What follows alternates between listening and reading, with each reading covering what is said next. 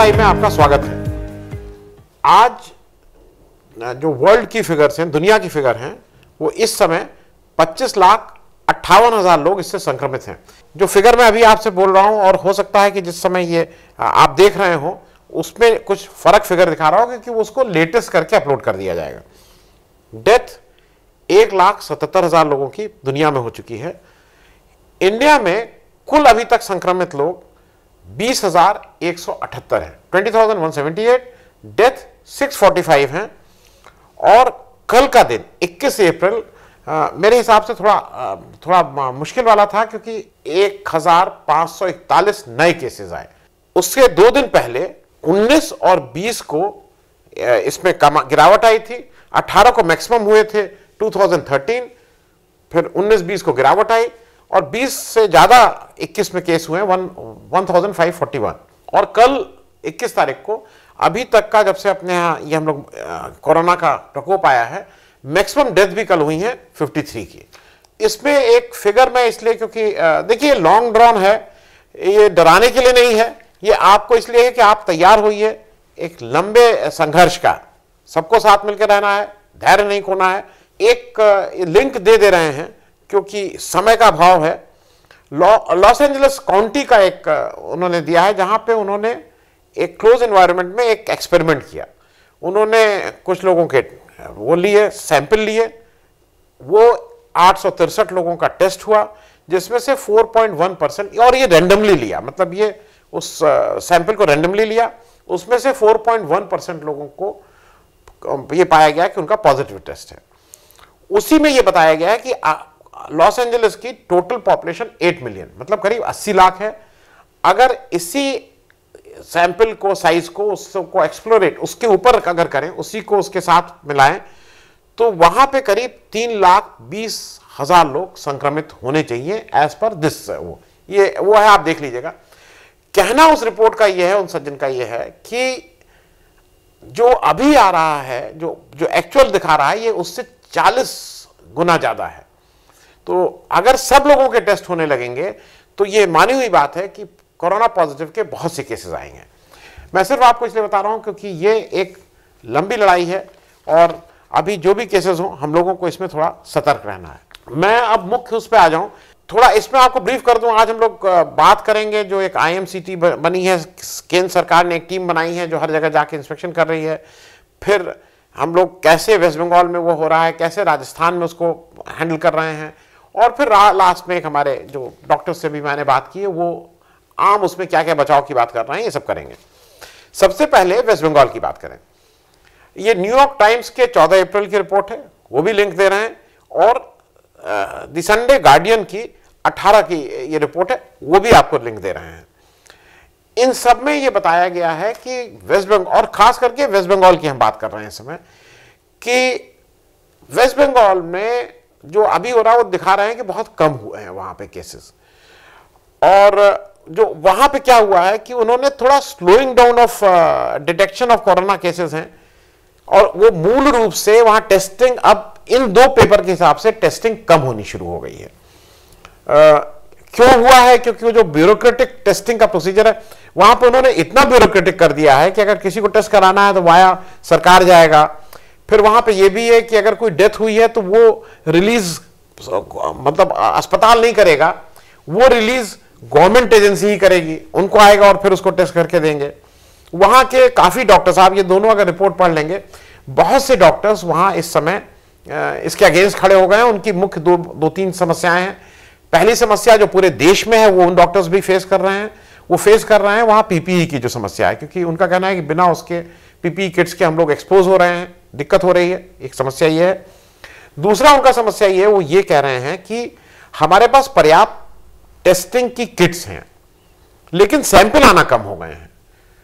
और इस, उसमें एक डेटा भी वो बता रहे हैं, वो ये ये डेटा सब 18 अप्रैल के हिसाब से हैं। वेस्ट बंगाल में 18 अप्रैल को पर मिलियन मतलब पर 10 लाख पे 33.7 परसेंट लोगों का टेस्ट हुआ है। जबकि ऑल इंडिया एवरेज 18 अप्रैल को इस रिपोर्ट, इस पेपर के हिसाब से 156.9 पर 10 लाख था फॉर एवरी मिलियन आज की तारीख में हिंदुस्तान का जो एवरेज है वो 335 पर मिलियन है मतलब 335 लोग पर 10 लाख पे जिनका टेस्ट हो रहा है। वेस्ट बंगाल में ये गति बहुत धीरे है और इसीलिए बहुत सी चीज़ें उन्होंने डॉक्टर्स ने उठाई हैं। देखिए वेस्ट बंगाल के बारे में दो चीज़ें मैं बता दूँ। एक तो वेस्ट बंगाल एक ऐसा है जिसने पहले भी, जब पुराने उसमें आज से सौ साल पहले जब फ्लू का और इस तरह का स्पेनिश फ्लू का जब हुआ था, वेस्ट बंगाल में बहुत लोग मरे थे। फिर उसके बाद अगर आपको याद हो, जो एक अकाल पड़ा था सेकेंड वर्ल्ड वॉर के आसपास, उस समय वेस्ट बंगाल में मतलब उस समय का बंगाल, वेस्ट बंगाल का उस समय का संयुक्त बंगाल, उसमें बहुत लोगों की मृत्यु हुई थी। दूसरा, यहाँ के डॉक्टर्स और ये इन लोगों ने बहुत जगह लिखा है यहाँ के बहुत से डॉक्टर्स एसोसिएशन बहुत से जो पैरामेडिकल स्टाफ है ये सब जगह लिख रहे हैं कि हम लोगों को ये ये चीज़ें चाहिए। और वो उसमें कुछ कुछ कमियाँ निकाल रहे हैं कि भाई क्या क्या दिक्कत हो रही है क्या क्या नहीं हो रहे हैं। और उसमें उनके तरह तरह के क्लेम्स हैं। जो इस तरह से कहा जा रहा है बेसिकली ले देखे कि वो अंडर रिपोर्टिंग हो रही है। अब हम लोग आ जाए कि क्या अभी हुआ जिसकी वजह से थोड़ी कंट्रोवर्सी हो रही है। आ, हुआ ये कि देखिए चौदह तारीख को प्रधानमंत्री ने एक राष्ट्र के नाम संदेश दिया और फिर उसमें कई चीज़ें बताई गई कैसे कैसे होगा। अब दो चीज़ें हैं कि एक नेशनल लेवल पे कॉमन एग्जिट रूट होना चाहिए कि एक स्टेट वाइड एग्जिट रूट होना चाहिए। एग्जिट रूट मतलब वो हमने, ये सब आपको पता ही है कि रेड और ऑरेंज और ग्रीन डिस्ट्रिक्ट्स हैं और किसमें कितना है, वो सब मैं उस पर दोबारा नहीं आ रहा हूँ। लेकिन हम अपने यहाँ लॉकडाउन को कैसे धीरे धीरे करके इससे हटाएँगे। ऐसा माना जा रहा था कि बहुत से लोगों का यह विचार है कि यह बॉटम्स अप होना चाहिए। उसी उसमें ये स्टेट के ऊपर छोड़ देना चाहिए कि उसको कैसे करें। इस बीच एक चीज़ ऐसी हुई कि केरल ने जैसे, जब ये सब हुआ तो केरल ने अपना एक एग्जिट प्लान एग्जिट स्ट्रैटेजी बनाई कि इससे कैसे बाहर निकलेंगे स्टेट वाइज और उसमें, उन्होंने पहले उसमें कहा कि हम रेस्टोरेंट खोलेंगे। Non AC barber shops now की दुकानें, क्योंकि देखिए ये मेरे भी बाल बढ़ गए हैं। मुझे भी एक बाल कहीं कटवाना है। नॉन एसी बार्बर को खोले खोलेंगे और किताब की दुकानें खोलेंगे। मैगजीन किताब इस तरह की। लेकिन सेंट्रल गवर्नमेंट का तुरंत ये डायरेक्टर आया कि नहीं, ये अभी मत खोलिए। और उन्होंने इस डिसीज़न को रोल बैक किया। मतलब स्टेट ने इसको रोल बैक किया। उसका एक कारण यह है कि वेस्ट केरल इसको बहुत अच्छे से हैंडल कर रहा है। और वो कन्फ्रंट करने के इस समय मूड में नहीं। जबकि बाय ट्रेनिंग जो कम्युनिस्ट होते हैं, वो कन्फ्रंट करना, विरोध करना उनके जैसे डीएनए में है, लेकिन इस समय वो कन्फ्रंटेशन वाला रूट नहीं ले रहे हैं। अब क्या हुआ कि यहाँ पे सैटरडे संडे को एक मिनिस्ट्री ऑफ़ होम ने एक कार्यक्रम बनाया जिसमें उन्होंने एक आईएमसीटी टीम बनाई। आईएमसीटी क्या है? इंटर मिनिस्ट्रियल सेंटर टीम और इंटर मिनिस्ट्रियल सेंटर टीम मतलब अलग अलग मंत्रालयों की होगी और जो headed by additional secretary level की अफसर से होगी। मतलब एक सीनियर आदमी जो जब स्टेट में जाए तो उसकी थोड़ी धमक रहे, क्योंकि वो दूसरे जब आई से बात करे तो बहुत जूनियर अफसर ना हो। और इसका जो भी ऑर्डर्स निकल रहे हैं, जो भी हो रहे हैं, वो secretary ministry of home Ajay Bhalla ji और कहीं कहीं क्लैरिफिकेशन हो रहा है joint secretary ministry of home P S Srivastava साहब, ये दोनों लोग इसको कोऑर्डिनेट कर रहे हैं। मतलब सीधे सीधे ये मिनिस्ट्री ऑफ़ होम से कोऑर्डिनेट हो रही है, जो अमित शाह जी जिसके मंत्री हैं। अब मिनिस्ट्री ऑफ़ होम ने एक ऑर्डर निकाला सुप्रीम कोर्ट का हवाला देते हुए कि सेक्शन 35 जो डिजास्टर मैनेजमेंट है, उसके तहत उन्होंने एक ऑर्डर निकाला है। और वो ऑर्डर क्या है? उसका क्या बेसिस है? मतलब ये आईएमसीटी की बेसिस क्या है? ये क्या जाके करेगी? ये क्या क्या देखेगी? पहली चीज़, ये वहाँ जब किसी स्टेट किसी स्टेट में जाएगी, किसी ज़िले में जाएगी तो वो देखेगी कि यहाँ incident of violence against health workers doctors paramedical ये कितना हो रहा है। दूसरा वो देखेगी यहाँ सोशल डिस्टेंसिंग की नॉर्म्स कितनी फ्लाउट हो रहे हैं। ये उन्होंने, ये सब उन्हीं के उसमें से हवाले से मैं बोल रहा हूँ। तीसरा वो देखेंगी कि प्राइवेट और कमर्शियल व्हीकल में क्या पैसेंजर भर के जा रहे हैं। अब अगर बहुत ध्यान से देखिए तो ये सारी चीज़ें कहीं से भी इसमें कहीं मेडिकल का कोई रोल नहीं आ रहा है। ये सब लॉ एंड ऑर्डर की प्रॉब्लम्स है। मतलब क्या सवारी गाड़ी में ज़्यादा लोग भर के चल रहे हैं कि इंसिडेंट ऑफ़ वायलेंस है, ये सब शुद्ध रूप से लॉ एंड ऑर्डर की प्रॉब्लम है। देखना यह है कि ये लॉ एंड ऑर्डर कौन हैंडल कर रहा है। दूसरा, ये आईएमसीटी क्या करेगी? इसका भी मिनिस्ट्री ने बताया है। उन्होंने बताया है कि ऑन दी स्पॉट असेसमेंट करेगी।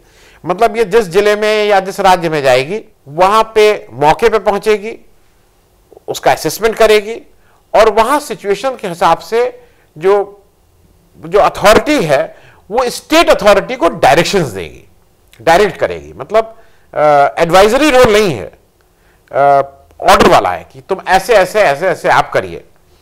तो ये लॉ एंड ऑर्डर में कहीं ना कहीं स्टेट गवर्नमेंट को बताएगी कि आपको ऐसे ऐसे करना है। इसका एक ऑर्डर निकला है। उस ऑर्डर में इन्होंने जब सब, ये सब तो लिखा ही है हवाला, फिर आगे कहा है कि इसको एक सिविल एविएशन का जहाज़ इनको आपके यहाँ तक पहुँचा देगा। मतलब स्टेट गवर्नमेंट को जब इन्होंने लिखा है। और फिर स्टेट गवर्नमेंट की ज़िम्मेदारी होगी लॉजिस्टिक्स अकोमोडेशन ट्रांसपोर्ट इनकी पीपीई किट्स, क्योंकि इनको कहीं, इनको ना संक्रमण लग जाए। और ये सब स्टेट गवर्नमेंट को इसका इंतज़ाम करना है। फिर इन्होंने आइडेंटिफाई किए कि सबसे पहले देश में सबसे खराब कौन सी जगहें हैं। तो इन्होंने देश के 11 जिलों को इसमें आइडेंटिफाई किया। उस 11 ज़िले में सात डिस्ट्रिक्ट्स वेस्ट बंगाल की हैं और चार डिस्ट्रिक्ट वेस्ट बंगाल से बाहर की हैं। इनके नॉर्म के हिसाब से वर्स्ट हिट डिस्ट्रिक्ट हैं जहाँ सबसे ज़्यादा वो खतरा है as far as ministry of home is concern जहाँ पे आईएमसीटी भेजने की ज़रूरत है, इस इस टीम को भेजने की ज़रूरत है। पहला मुंबई है, जहाँ पे 2070 लोगों लोग उस समय तक जब ये डिसीज़न हुआ था अठारह या उन्नीस का, पुणे में 470 केसेस इंदौर में 707 केसेस जयपुर में चार सौ पचासी केस ये कुल मिला के इन चार जिलों में 3723 केसेस हुए हैं। अब जरा वेस्ट बंगाल पे आ जाइए और इनकी फिगर्स सुन लीजिए। क्योंकि मैं इसलिए कह रहा हूँ कि जब आप फिगर देखेंगे तभी आपको लगेगा कि कुछ क्या हो रहा है। वेस्ट बंगाल में साठ डिस्ट्रिक्ट में कुल मिला के 224 केस आपने ठीक सुना। कुल मिला के 224 case 224 cases in seven districts of West Bengal मतलब जो सबसे कम जयपुर, एक सिंगल है, वहाँ पे भी 485 है। उसके आधे से भी कम इन सात जिलों में मिला के है। उसमें भी अगर कोलकाता को के 105 केसेस निकाल दिए जाएँ तो बाकी छह डिस्ट्रिक्ट्स में कुल 119 केस हैं। बाकी जगह है, यहाँ पे दो टीमें गई हैं। छह में से एक टीम मुंबई गई, एक पूना गई, एक इंदौर गई, एक जयपुर गई। दो टीमें वेस्ट बंगाल आई हैं। टीम ए जो पहली टीम है वो कोलकाता जो पहुँची है, वो देख रही है कोलकाता 105 हावड़ा 46 नॉर्थ चौबीस परगना 37 ईस्ट मिदनापुर 21 ये कुल मिला के 209 आउट ऑफ़ जो हम इसको 224 है, उसमें से 209 इन चार जिलों में है। अब बचे आपके 15 केसेस और। ये 15 केसेस नॉर्थ बंगाल में है। एक टीम सीधे बागडोगरा पहुँच गई है और उस टीम में जो 15 जो तीन जिलों में केसेस हैं, वो भी सुन लीजिए। दार्जिलिंग में कुल तीन केस जो वर्स्ट हिट हिट माना जा रहा है। जलपाईगुड़ी में पाँच केस कैलिम्पोंग में सात केस और वो भी कैलिम्पोंग में जो टोटल सात केस है। लास्ट केस जो रिपोर्ट हुआ था वो सेकेंड अप्रैल को। जलपाईगुड़ी में लास्ट केस जो रिपोर्ट हुआ था वो चार अप्रैल को। और दार्जिलिंग में जो लास्ट केस रिपोर्ट हुआ था वो सोलह अप्रैल को। मतलब ये ये नहीं है कि कोई नया कुछ एकदम से हो रहा है या वो हो रहा है। अब यहाँ पे जो दिक्कत शुरू हो रही है और जहाँ से मुझे ऐसा लगता है कि एक सीरियस मैटर है। ये सीरियस मैटर इसलिए है कि यहाँ पे कहीं स्टेट और सेंटर का टकराहट की बात हो रही है। मंडे 20 अप्रैल को जैसा पेपर कह रहा है और जैसा ममता बनर्जी कह रही हैं वेस्ट बंगाल को ये कम्युनिकेशन मिलने के 30 मिनट के अंदर मतलब within half an hour ये टीम वहाँ से रवाना हो चुकी थी दिल्ली से। और ये एक टीम कलकत्ता और एक टीम नॉर्थ मतलब एक टीम बा, बागडोरा पहुँच गई थी। क्योंकि ये अजीब सा अगर आप देखिए तो ये सात डिस्ट्रिक्ट में आप जो जो नंबर ऑफ़ केसेस हैं और जो चार डिस्ट्रिक्ट में अलग अलग हैं। अच्छा ये कहना, ये मानते हुए कि वहाँ पे अंडर रिपोर्टिंग मान लीजिए हो रही है। हम ये मान रहे हैं, जैसा न्यूयॉर्क टाइम्स या गार्डियन कह रहे हैं, वहाँ अंडर रिपोर्टिंग हो रही है। ये मानते हुए कि वहाँ दिक्कत है। तो ये सिर्फ़ वेस्ट बंगाल में नहीं हो रहा है।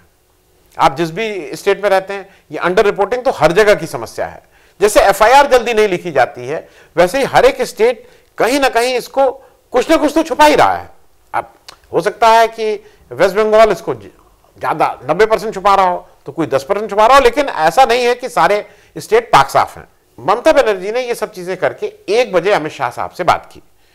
और उन्होंने उनसे एक बहुत बेसिक क्वेश्चन ने पूछा कि आपने जो भेजा है, इसकी क्या क्राइटेरिया है? आप किस क्राइटेरिया से इसको भेज रहे हैं?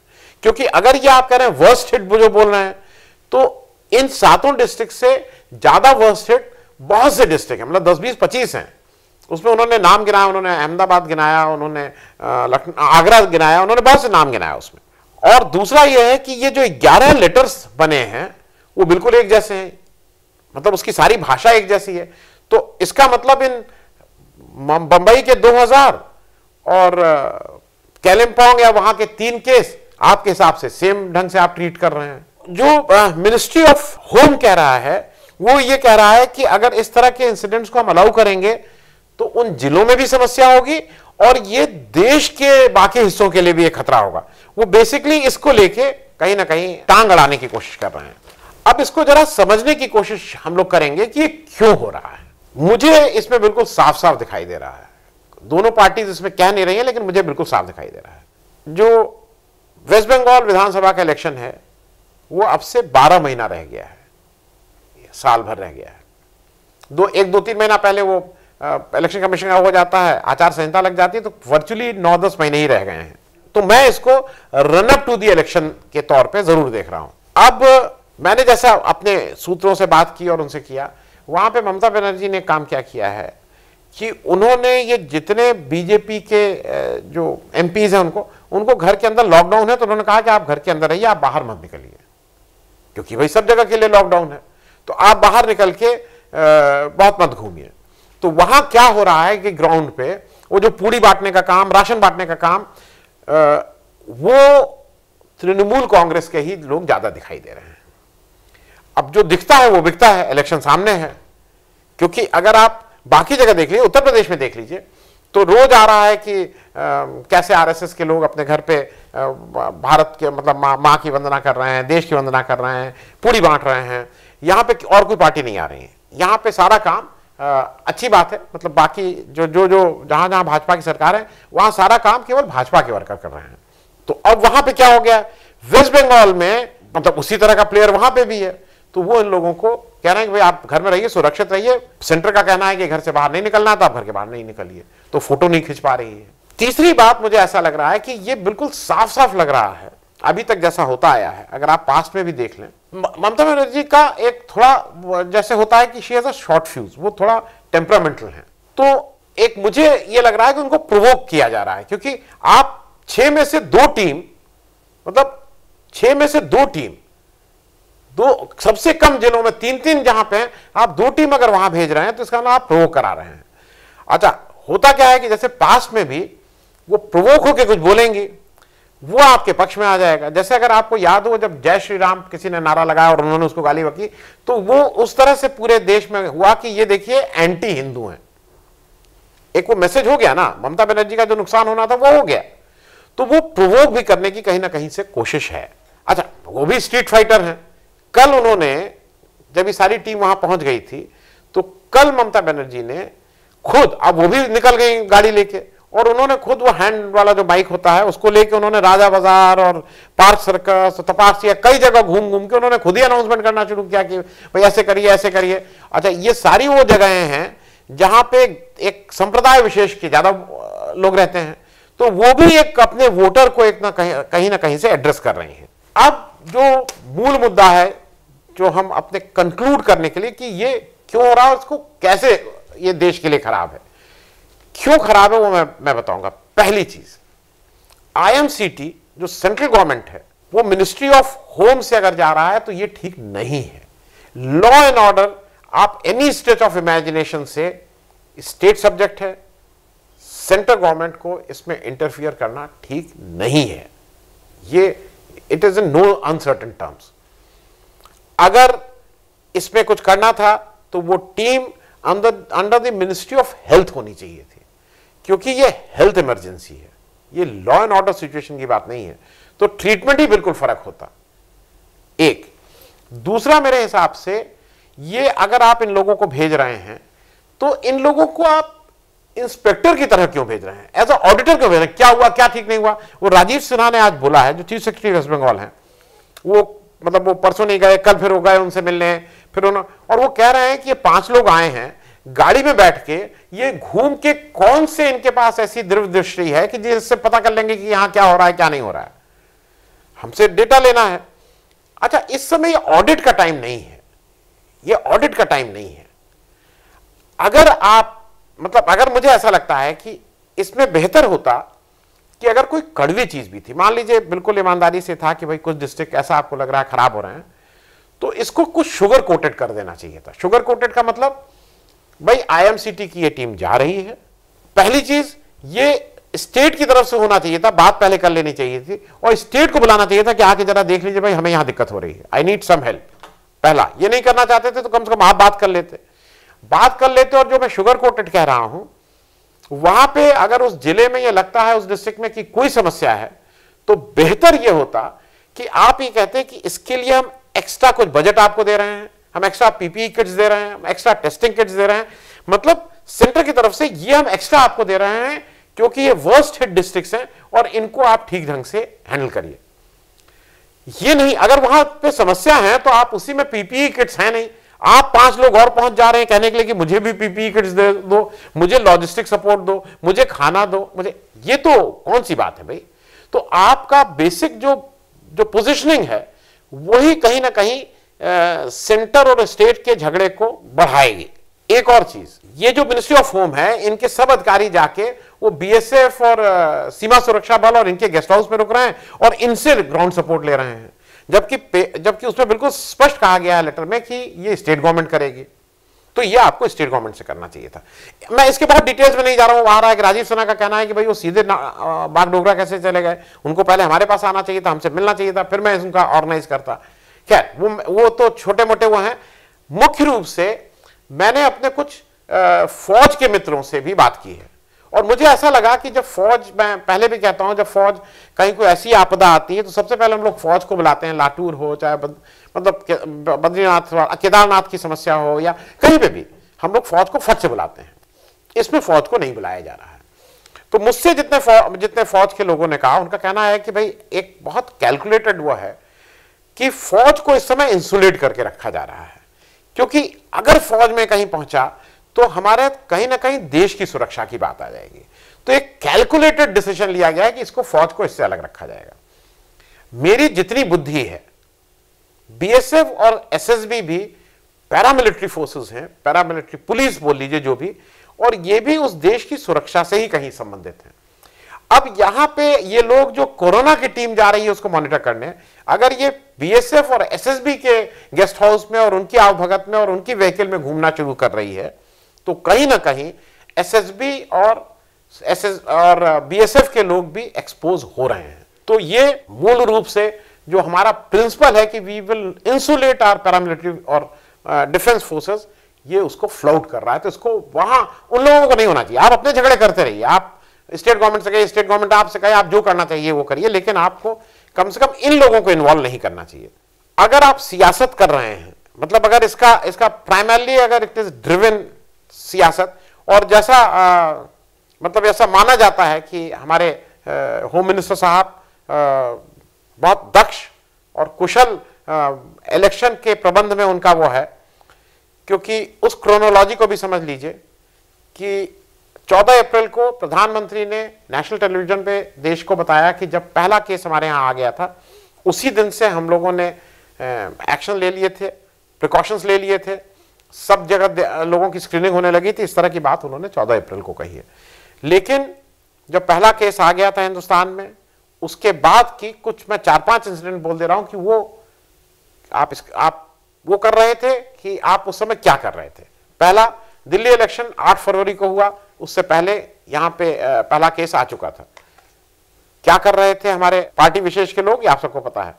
डिफेंस एक्सपो बड़ा हिंदुस्तान में, लखनऊ में पाँच से आठ फरवरी को हो रहा था, जिसमें सत्तर देश के लोग आए थे, एक सौ बहत्तर फॉरन इंस्टीट्यूशंस आए थे फॉरेन जो बेचने वाले लोग अपना सामान आए थे, यहाँ एक बड़ा जमावड़ा हुआ था। उससे पहले यहाँ पता लग गया था कि यह है। दिल्ली के रॉयट्स 23 फरवरी को हुए थे, और सबको पता है कि रॉयट्स कैसे और क्या हो रहे थे। फिर नमस्ते ट्रंप कार्यक्रम 24 फरवरी को अहमदाबाद में हो रहा था। वो उसके पहले मतलब उस प्रधानमंत्री के भाषण के अनुसार हमें पता लग गया था कि यह है और हम लोग उसकी, उसको स्क्रीनिंग करना शुरू कर दिए थे। मध्य प्रदेश सरकार को गिराया और किस तरह से वो एमएलए लोगों को हम लोग बेंगलोर ले गए और क्या क्या किए और कैसे सरकार गिराए? 20 मार्च को कमलनाथ का इस्तीफा होता है। 23 मार्च को शिवराज सिंह चौहान का, शिवराज सिंह चौहान का 23 मार्च को होता है जबकि 22 को हम सब लोग जनता कर्फ्यू करते हैं। ये क्रोनोलॉजी मैंने इसलिए बताई है कि मैं बिल्कुल मेरे हिसाब से दो चीज़ें, ये फेडरल स्ट्रक्चर को अगर इस तरह की बात हम लोग करेंगे तो कहीं ना कहीं उसको वो एक कॉन्फ्रंटेशन की बात आएगी जो इस समय देश के लिए ठीक नहीं है। तो इस पर थोड़ा रोक लगनी चाहिए, ये जो आईएमसीटी की टीम जिस ढंग से जा रही है। दूसरा, अंत में मैंने मेरे एक साथी हैं, डॉक्टर संजय विष्णोई उनसे बात की थी कि इसके क्या प्रिकॉशंस हों और इसको कैसे, मैं बात कर रहा हूँ कोरोना वायरस की। उन्होंने बहुत ही अच्छी और सटीक बातें बताई हैं कुछ। एक दो मिनट की बात है, इसको भी जरा सुन लीजिए। ये हमारे डेली रूटीन में कैसे कैसे हम इसको प्रिवेंट कर सकते हैं, उसके बारे में कुछ जानकारी देंगे। धन्यवाद। मैं डॉक्टर संजय कुमार बिश्नोई, रानी लक्ष्मीबाई चिकित्सालय, राजाजीपुरम, लखनऊ में वरिष्ठ परामर्शदाता ने सर्जन हूँ। जैसा कि आप सभी जानते हैं कि आज विश्व एक अभूतपूर्व स्थिति में गुजर रहा है, जहाँ कोरोना संक्रमण के कारण बचाव के लिए लॉकडाउन की जो स्थिति है उससे सभी लोग अपने घरों के अंदर हैं और ऐसे में स्क्रीन का उपयोग बढ़ गया है। चाहे वो मूवीज़ न्यूज़ देखने के लिए या वीडियो कॉन्फ्रेंसिंग या ऑन वर्क फ्रॉम होम या स्कूल कॉलेजेस में जो ऑनलाइन क्लासेस चल रही हैं उनके कारण या मोबाइल पर व्हाट्सएप के उपयोग के कारण। ऐसे में आँखों में तनाव, सर में दर्द, गर्दन में दर्द, पानी आना और आँखों के लाल होने की शिकायतें बढ़ रही हैं। इस संबंध में आपको मैं कुछ सुझाव देना चाहूँगा कि जब भी आप स्क्रीन का उपयोग करें, उसकी दूरी जो है, टीवी की कम से कम 6 से 10 फीट की दूरी पर रहे और मॉनिटर भी कम से कम 25 से 30 इंच की दूरी पर होना चाहिए।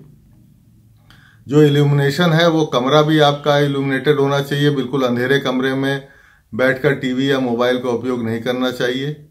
जो मॉनिटर है, वो भी साफ़ होना चाहिए और उसका इल्यूमिनेशन या ब्राइटनेस भी कम होनी चाहिए। जो मोबाइल है, उस पर जो ब्लू लाइट फ़िल्टर का ऑप्शन है, उसको हमेशा ऑन करके रखना चाहिए। जो इंक्लिनेशन है, वो भी बहुत महत्वपूर्ण है। जो लैपटॉप है, वो कम से कम पाँच से सात इंच आँख की सतह से नीचे की तरफ़ होना चाहिए। लेट कर या करवट लेकर कभी भी मोबाइल या लैपटॉप या टीवी का उपयोग नहीं करना चाहिए, क्योंकि लेटने से या करवट से देखने से जो सर्वाइकल स्पॉन्डलाइटिस के मरीज़ हैं, उनके गर्दन में दर्द भी बढ़ सकता है और आँखों में अनावश्यक तनाव बढ़ सकता है। इसके अलावा जो चश्मा लगाते हैं मरीज़, उनको हमेशा चश्मा लगाकर ही इसका उपयोग करना चाहिए। और जो कॉन्टैक्ट लेंस प्रयोग कर रहे हैं, वो इस समय बेहतर होगा कि चश्मे पर स्विच कर जाएँ। इसके अलावा आँखों को हमें कभी पहुँचना नहीं चाहिए। जब भी घर के बाहर निकलें तो मास्क लगाकर निकलें और सोशल डिस्टेंसिंग को हमेशा फॉलो करें। बाहर अगर आँख में चाहे कितनी भी खुजली या पानी आए, आँखों को कभी भी छूना नहीं चाहिए। जब भी आपको आँख को छूना है तो पहले साबुन से हाथ को धो लेना चाहिए। बिना साबुन से हाथ धोए कभी भी आँखों को नहीं छूना चाहिए क्योंकि आँखों के माध्यम से भी कोरोना वायरस शरीर में प्रवेश कर सकता है। इसके अलावा खान पान का भी विशेष महत्व है। जो इस, इस समय ताजे फल सब्ज़ी बाज़ार में आ रहे हैं हरी सब्ज़ियाँ हैं पपीता है उसका अधिक प्रयोग करें। ये आँखों को भी ताकत देती हैं और शरीर की प्रतिरोधक क्षमता को भी बढ़ाती हैं।